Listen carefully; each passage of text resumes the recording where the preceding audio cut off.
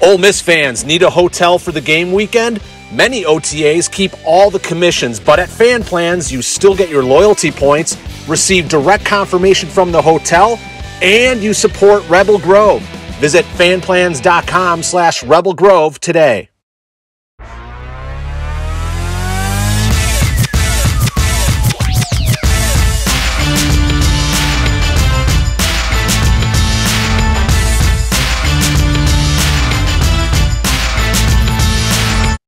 Welcome into another edition of the Mason Brooks Show, presented by The Rogue. I'm Neal McCready. That is Ole Miss offensive lineman Mason Brooks. The day after, we're taping this on a Sunday afternoon. Ole Miss defeats Kentucky in a wild SEC game, 22 to 19. Two really good teams, two really good programs, and that game comes down to the final minute. I think, like a lot of people, self included, thought it would.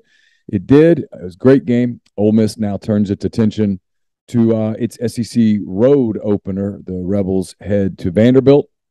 That's at three o'clock on Saturday in Nashville. That game can be seen if you're not going. It can be seen on the SEC network. This show brought to you each and every week by The Rogue. It's your destination for fine men's clothing. Their stylists hand select pieces from top designers. From work to lifestyle to nightlife, there's the perfect something for everyone at The Rogue. All the best items from Peter Millar, Martin Dingman, Jack Victor, Halsey, True Grit, Duckhead, so many other brands, 4450 I 55 North in Jackson or the rogue.com. I always think it's funny, Mason, that we're sponsored by the Rogue, and each and every Sunday we get together and do this. And it's a half chill, half get going day for you. And so you're kind of relaxed. And it's a just work day for me. And I'm in here just t-shirt and we're you know, we're not we're not at all dressed for fine men's clothing at this point, but we could be, could be at another Could time. If and if we We can, decide do a suit, do we can do a suits episode. We, can could dress do a up. Suits episode. Yeah, get, get, we could decked out at the Rogue and, and and do it that way for sure. How are you? I'm good, man. I'm I'm really good. I'm I'm uh I'm, you know very pleased with where not to rat poison, not to rat poison us, but I'm I'm very I'm very happy with uh how we pulled out yesterday. So So your first SEC uh, game. Welcome to the league, my, my man. That that uh, that's kind of what a lot of it's like. It was crazy. What a what a day. I don't even what. I'll, I'll just. I mean, it's your show. I'll let you kind of carry. um, what sticks out? uh the traffic was terrible. That's what sticks out. I mean, that was I was scrambling around on Friday and uh trying to get stuff done. I, hitting and hitting. Um, got me some different stuff to wear, and so I was trying to get that ready to go and and handle a couple of things and grab some lunch. And uh, it took me 35 minutes to get uh, through through the square, essentially from one side of town to the other. Um, and I was like, you know what?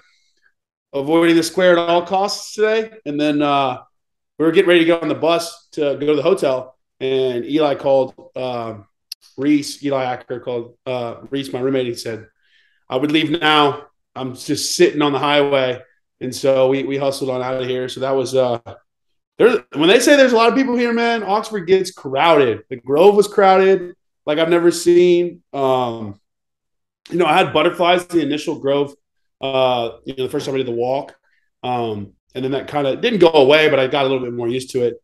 But it, it, it fully reloaded this weekend. I was uh I had the same giddy feeling as the first time I did the I mean not quite, nothing's like that first walk, but um it was pretty electric. The, the stadium I mean, we got we got a loaded student section all four quarters. Uh, you know, the fans showed up, they were loud, they were involved and that helps us so much. You know, I think Lane made a point on it this week and uh, the fans answered, and and that means a lot. And you know, I think it showed in the game. Uh, crunch downs for for Kentucky, I think it affected them. Um, you know, a lot a lot more people realize. So Yeah, I'm gonna, I'm going to jump around to a number of things you just touched on. Uh, first, I'll tell you that I, I've I've been here a little longer than you have, and it's my experience that you can tell on Thursday midday just how nutty it's going to be. Like on a non like Tulsa or whatever, when Yeah. played here. Nothing against them or Central Arkansas, but like those Thursdays felt like a normal Thursday. It was like well, right, yeah, and and you're like, okay, it's going to be kind of tame. Um, you you you'll be able to tell like if some things go a certain way. That Alabama game coming up in about a month. Um, it'll be you'll start noticing the town changing on Wednesday, maybe even mm-hmm. Tuesday afternoon. It gets by Thursday it'll be an absolute zoo, and Friday it'll be chaos. So, um, yeah, it, you, you could tell, and you could feel it. You could feel it on Thursday because there were a lot of Kentucky people starting to pile in. So, oh, that surprised me too. I heard they bust them up here, so they, they pulled out all the stops. Yeah, well, I mean, that's what happens. You get two nationally ranked teams going at each other in a, in a big game like that. There's going to be there's going to be tons of people. It's going to be wild, and and it was. Um, what was your? I, you, you talked about the Walk of Champions. Um, I mean, it was unlike anything you'd seen in the first three games. When when did you kind of first realize as you were pulling up on the bus that oh wow, look at all of the people? It was it was really like I put my I put my suit on and I my new hat. You know, I had my whole outfit on, and I kind of was like jittery before we even got on the bus because you could just kind of it sounds weird, but you could just kind of feel the energy was like different, like from the team and just from the.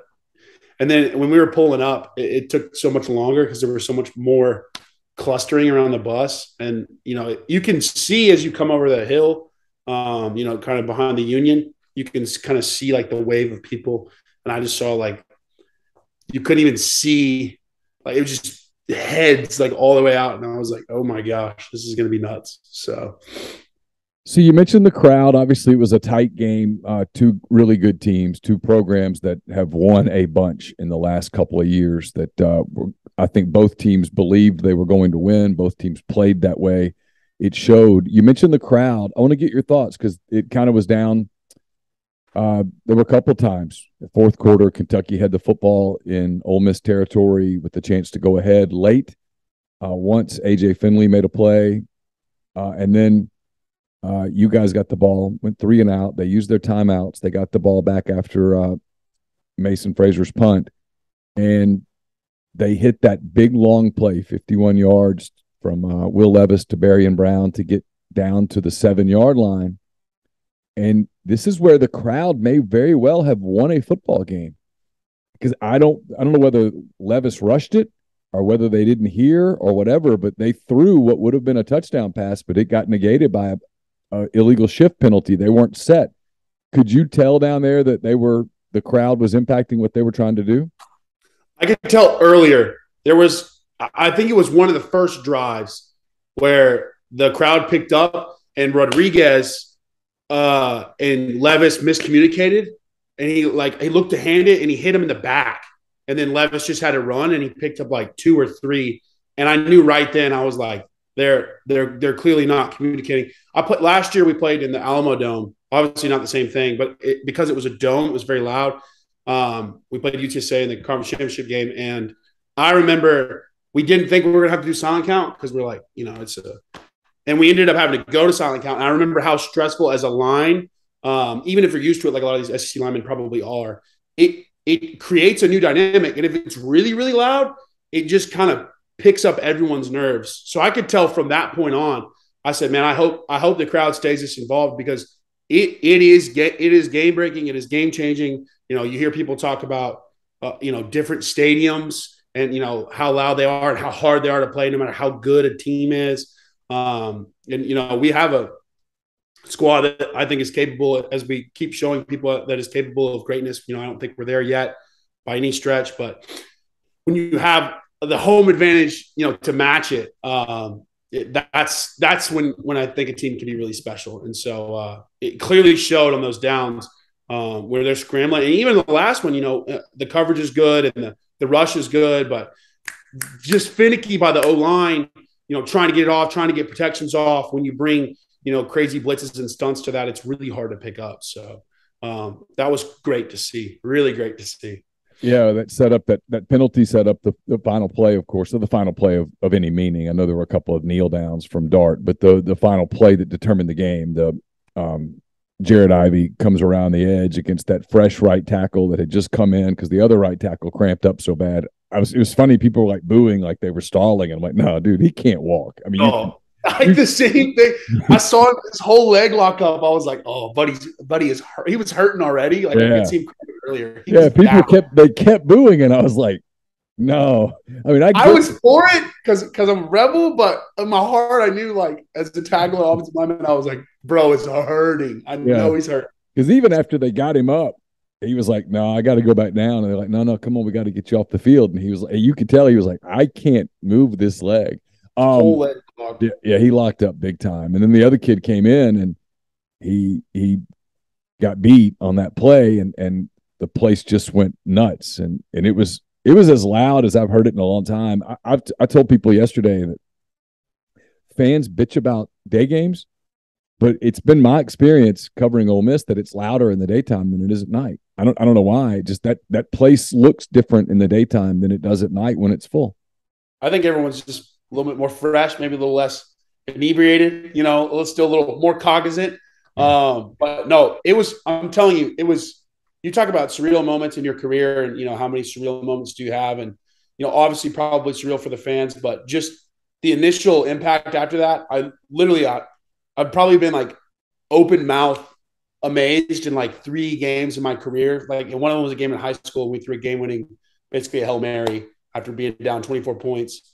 And that, I would, I, this was just like, I was like in, in awe and, and, and so, uh, just shocked. It was, it was awesome. I'll remember it forever. So you had a, a view of, of another, uh, another contest that happened up in the stands, right? I mean, I, I, saw pictures of this and stuff, but nobody ever put any context to it. I, I couldn't tell if it happened before the game or, or, or when it happened, but there was uh there was a little there was a little uh scuffle. We want to call it a scuffle. A kerfuffle. kerfuffle. I was uh you know I'm playing my role as we've talked about, so um you know I'm watching the guys and, and I'm encouraging and I'm you know getting the guys rolling and I'm trying to see what blitz packages they're bringing and where things are going, so I can get those guys right when they come to the side. And uh, uh, someone told me they're like, "Hey man, they're they're fighting up there," and I was like, "What?" And someone was like, "Damn, like they really they're really throwing up there." And I look up and there's like just a brawl, and and we were like, "Oh, okay." Guy in the red shirt and some guy in the red shirt was like throwing a couple punches, and then this guy comes in and just slept him, like just right hook right in the chin, and we were like, "Ooh." Oh. And everyone was like, turn around, turn around. And so we all just turned around. But that was uh, that was unreal. So the, the the energy of the stadium clearly shifted up into the uh, the base. So it was it was it got us got us cranked on the field. So that was that was something. I, I, heard at the end there was a fight in the Kentucky section between two big Kentucky fans. Like they went at each other. Supposedly, it was it was. I think a, I saw a day. where they were dragging one of the guys out. It's just hey, it was a rowdy day. It was a rowdy day for pound for pound. So, uh, not complaining, man. Rowdy sport. I like rowdy fans. Let's do it. So, you speak about your role. Obviously, you didn't play a lot yesterday. They reshuffled the offensive line. Um, I know Caleb wasn't going to play, and then he, they felt like he had to play. Um, from an offensive line standpoint, you guys keep sort of trying to find a, an identity, a, a, a rhythm. Where do you kind of think that is right now? Um, I think the identity is next man up, play where you put them. Uh, you know, you got you got Pettus playing right tackle now. You got Jeremy playing right guard, Eli playing center. That's three guys playing that never play next to each other. You got Caleb coming in. Jerm moved back out to right tackle when when uh, Pettus caught a little cramp or whatever happened there. He came back in, and um, you know, coach told us beginning of the year, and we talked about it. You know, it, the more linemen you have that can play, um, you know, the better. Uh, obviously, paired with the elite play of Quinshon Judkins and Zach Evans. Just throwing that out there again. Those boys are legit. I'm gonna keep saying it every week because it's fact. Um, but you know, when we have uh, really eight, you know, eight guys that can go in and not skip a beat, um, that's a pretty good place to be. I remember watching the Natty last year and watching Georgia's lineman, their right tackle, somebody went down, and the freshman came in and, and almost looked just as good, if not better. Um, and I was like, dang, like to be able to have that kind of crazy depth, um, that's how you really win championships, I think, because um, you know, I keep hearing SEC play, SEC play, like um, you know, it's a it's a long stretch, it's a long stretch, and, and we're already seeing it. Um, but to be able to go in and perform like I think we did up front, and it, I mean, it wasn't perfect. Um, you know, you're always chasing perfection, but there's a lot of stuff we need to clean up. Um, but when you're able to just shuffle guys around and not really see a huge drop off, not really see guys just getting blown up and you know sacks left and right, and Dart has a lot of time. uh, that's encouraging. Uh, that's encouraging as a player, and it's you know I think it's encouraging for the team to see. So I think our identity right now is just put me wherever, coach. You know, let's roll, and uh, and I think people are seeing that firsthand. And I don't know if that's been necessarily a a, a mantra here on the O line for the past couple of years. I think it's kind of um, been more of a madhouse, and so it's good to have some stability and instability, if that makes sense. Yeah, and that was a talented team, talented front seven that you guys were going up against yesterday. That's that's, oh, yeah. a, that's a good football team over there. Um, so you guys get into the top ten. You mentioned rat poison earlier. You're, there's there's going to be rat poison served, um, whether everybody likes it or not. It's it's going to get served in heaping helpings here the next few days because you knocked off a top 10 team and now you're in the top 10 at number nine in the in the latest Associated Press top 25. Do you sense because I sensed a week ago that everybody was like, hey, we can't play like we played against Tulsa when we play in the SEC. We've got to get got to get locked in. And you guys did.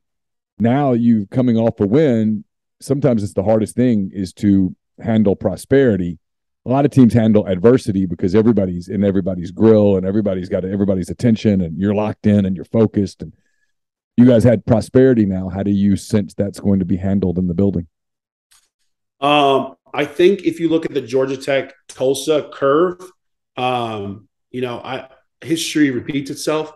Um, but i think that this is a team that learns from its mistakes.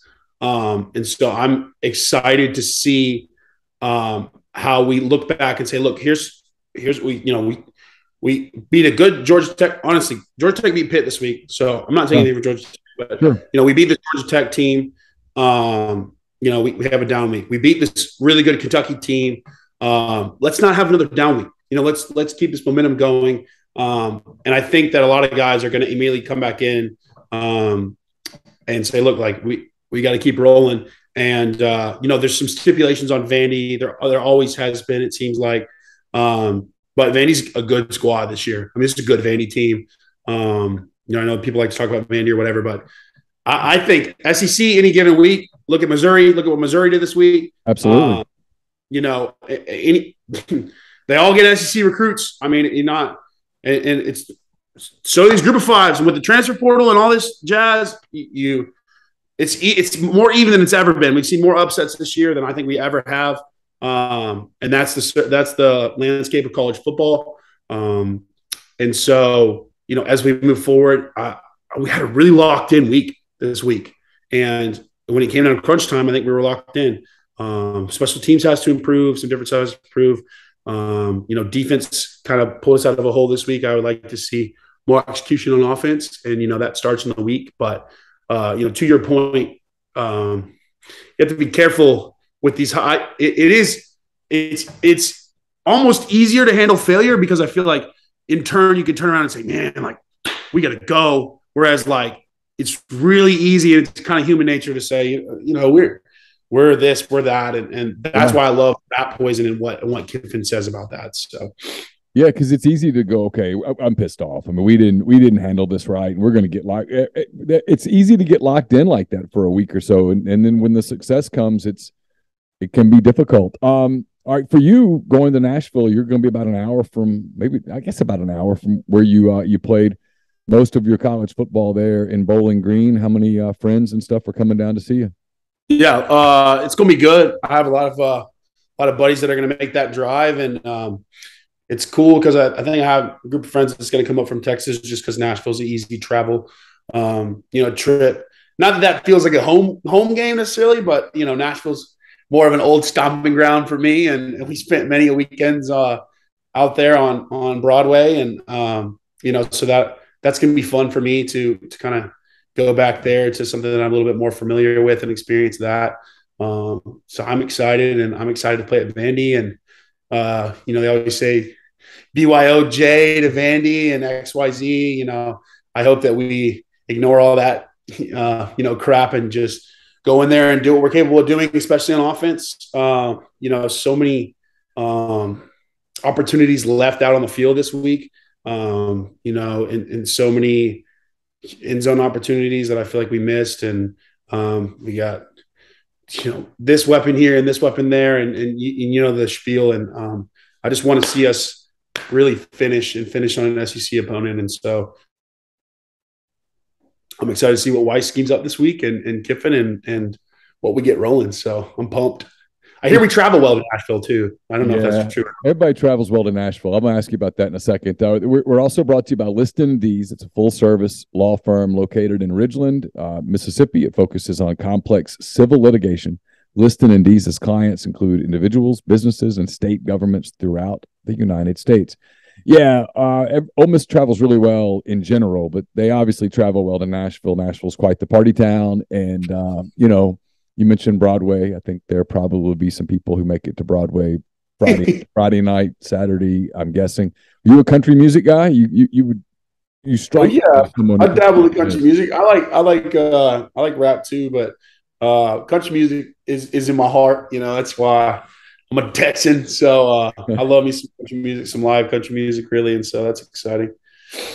Um, did how often did you get down to Nashville when you were at Western Kentucky? It feels like that would be a, a natural place to go uh, yeah. for a weekend. Uh, yeah. Um, so many times you can go to the Outback in Berlin. you're like, you know what? Let's go to Nashville. You know what, guys? I'm done going Outback. Um, we we they're very strict down there with their uh, identifications at the doors, you know. And yeah. we, I'm a big, big law follower, big, you know, way to I'm 21er. And so, uh, you know, when we were able to finally get down there, when we uh, got a little older, we made a pretty big habit of it. It's not a cheap uh, trip, as we come true. to find out. Um, the beverages and whatnot are very expensive.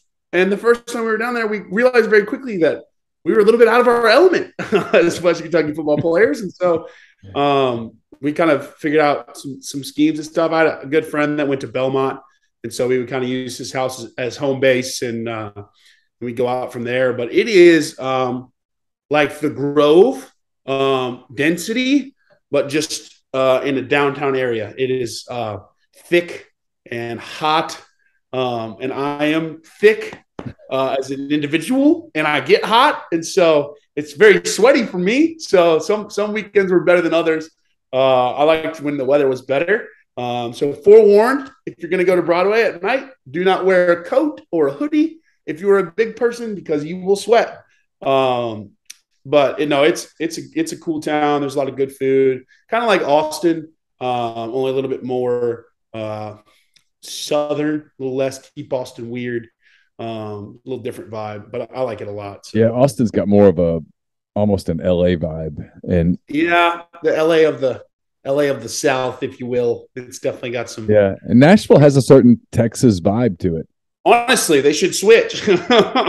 no, my daughter talks about Austin. She's like, I just love Austin. I'm like, well, you haven't lived there yet. And if you live there, it might be different. But all I can tell you is it's really expensive. And when you're paying your own way, you might not like it as much. Um, let's see. Uh, trying to think what else I wanted to get to you with. What you said you have a couple things you wanted to touch on. So have we touched everything, or is there something else you wanted to get to? Uh, let me think. Um, what I want to touch on. Uh, I didn't even didn't even attempt to go out last night. Um, not because I don't love the town, but because I didn't want to to to the sweat situation to happen again. So I ended up just hanging out here. But from what I heard, you know, the fan base was was really supportive, and so um, it's just cool um, you know, seeing seeing all these these fans, uh, you know, come together for us, and and and that was cool. And uh, we did the Grove uh, press conference, and uh, they're doing some really fun stuff. That was exciting once again to kind of see the community come together. And um, you know, I'm just very encouraged by um, you know our fan base, and that's very exciting to me. So I just kind of look forward to you know seeing how that continues to flow, um, you know, throughout the season and whatnot. But um, no, it was. Uh, you mentioned mentoring some and being there for the guys and watching from the sideline and telling guys what you see. Has has any of this at all led to you uh, even considering a, a dabbling in coaching or or anything like that, or do you have other other certain plans coming out of of college? I'll tell you what this has done is it, it has made me, uh, you know, understand how um, how fleeting football is. You know, as a player especially a player that's found some success. I think it's easy to kind of be like, man, this is this is what I'm made to do, and this is what I'm going to do. And uh, you know, I'm a religious guy, and you know, I've been in you know a lot of prayer and and thought, and and um, I think God has kind of showed me, hey, you know, there's lots of other avenues, um, and there's a lot more going on than just uh, you know you being an offensive tackle, and um, you know whether it's coaching or uh, you know something around the game. Um, you know, I don't think I want to just totally step away from the game, but it, it's made me realize, um, you know, I can use my leadership qualities whether I'm playing or not, and um, you know, I have the I have the wisdom um, just from playing experience to be able to help these cats, uh, push them during the week in practice. Um, you know, it's not like there's just a random random guy out there. You know, I have the experience and the ability, and you know, I feel like I'm I could I could not skip a beat if I went in, but that's just not where I'm at right now. And um, you know, being okay with that and, and having a good attitude about that, a truly good attitude about that is something that's difficult to wrestle with. Um, and something that I've learned to kind of um, you know work through. And so I'm grateful for Ole Miss, like beyond um, you know what's been given to me and and, and you know what I've received and um, the playing X Y Z, just because um, I've already learned so much more about myself and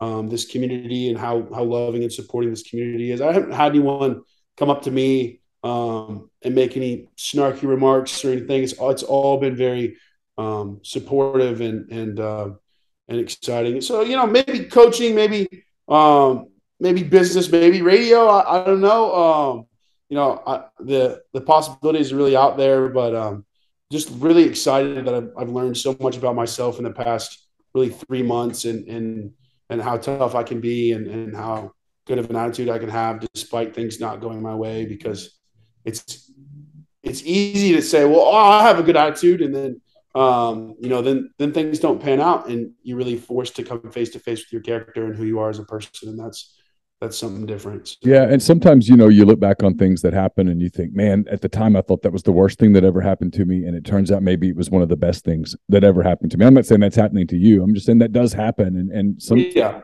sometimes it's about it's literally just kind of about how you the attitude that you handle adversity with so uh, i've had so many people reach out to me kind of just raving about the way you've handled everything that you've done and and you know one thing i've learned in football covering it you've learned it playing it obviously but seasons are long and things happen. And a lot of times the people at the end of a season who end up being heroes of a season were not the heroes of the season at the beginning of a season. That seasons uh, seasons develop. They take on a, yeah. a, life of their own and and it's somewhat unpredictable. You you know like you talked about missouri and georgia last night. I mean who would have ever thought that saw that coming? But stuff happens. And uh, it's a game where i mean you guys you know have had to shuffle because of injuries and stuff. And it's a physical game and there's nobody get, nobody gets a guarantee each day that hey you're gonna you're gonna get get out of this game completely healthy and ready to go next week. It just doesn't work like that. So it's a long season and it's been uh, it's been fun following it with you and we'll continue to do it um, here each and every week on the mason brooks show. Again we're brought to you by the rogue uh, 4450 i-55 north in jackson or the rogue.com the calendar has turned to october you know the one after that is november and then the one after that is december so if you're thinking about gifting and things, uh, check out the Rogue. You can get some of that taken care of as the uh, holidays do indeed approach pretty quickly. I liked that little calendar Christmas plug. That was good. That yeah, was creative. Done it. Done this for a few minutes, Mason. I, I every once in a while, I sort of know what I'm doing. Not all the time. Not all the time, but occasionally. Um, so uh, yeah, I had you guys winning by four. You and you won by three. I felt like I was I was pretty pretty pumped with that. Then of course I had Jacksonville winning and and they're not. So it happens.